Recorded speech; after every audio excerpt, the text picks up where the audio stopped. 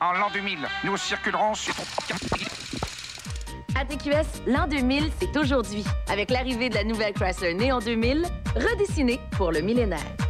Grâce à Chrysler, TQS, le Journal de Montréal et le Journal du Québec, vous pourriez partir en néon 2000. Repérez deux indices Néon 2000 à TQS et complétez le coupon de participation dans votre journal. Et surtout, suivez Flash pour les détails des tirages en direct. Et le lundi de Pâques, nous en font tirer deux. 7 néons 2000 pour vous, seulement à TQS.